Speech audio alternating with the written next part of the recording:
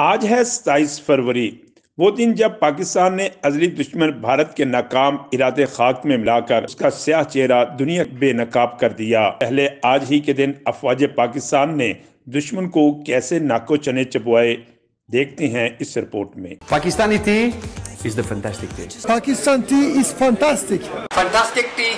The tea is fantastic. 27 फरवरी 2019 हिंदुस्तान की नाम निहाद सर्जिकल स्ट्राइक के जवाब में पाकिस्तान ने उसे करारा जवाब देकर उसे छट्टी का दूध याद करवा दिया। पाक फौज के ब्रिगेडियर मुनीर को आज भी दिन याद है जब कंट्रोल लाइन पर पाकिस्तानी शहीनों ने भारतीय लड़ाका तैयारे मार गिराए। ब्रिगेडियर मुनीर बताते हैं, जब उन्हें इतला मिली कि उनके पेट्रोलिंग एरिया में एक जहाज़ गिरा तो उन्होंने फ़ौरन क्विक रिस्पांस टीम को भेजा। ब्रिगेडियर मुरीन के मुताबिक पाकिस्तानी फौजियों से पहले मुकामी लोगों ने भारतीय पायलट अभिनंदन को घेर लिया। जिसे पाक फौज के एहलकारों ने बाहिफाजत वहाँ से रेस्क्यू किया। उस दिन को पौने दस का टाइम होगा, सुबह साउंड बैरियर ब्रेकेज की आवाज़ आई कि हमारे एयरक्राफ्ट ने साउंड बैरियर ब्रेक किया और साथ ही मुझे फ़ोन पे इतला मिली कि हमारा रिस्पांस इंडियन एग्रेशन का रिस्पांस जारी है और जहाज़ों की आवाज़ें आ रही थी। और मीन वाइल ख़बर मिली कि आ रही थी।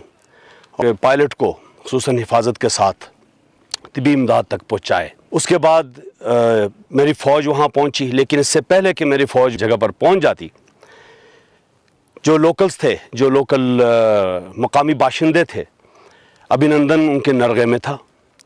और अ, मेरी फ़ौज पहुँची और उन्होंने बहुत महारत के साथ पेशा वराना महारत के साथ मेरे ट्रुप्स ने अभिनंदन को वहाँ से रेस्क्यू किया।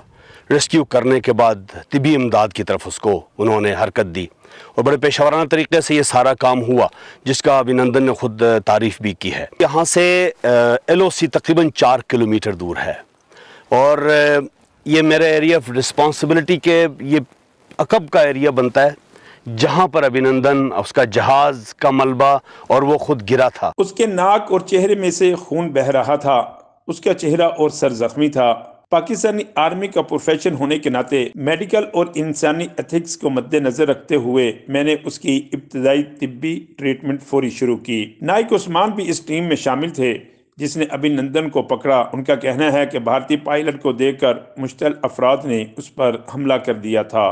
पायलट अभिनंदन को हमने कैप्चर करके रेस्क्यू किया, उसकी सर्च वगैरह की है, फ़र्स्ट एड किया और यहाँ पे हम यूनिट हेडक्वार्टर ले गए उसको।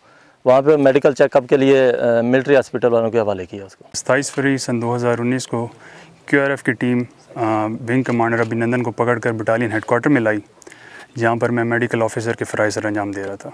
उसके नाक और चेहरे में से खून बह रहा था।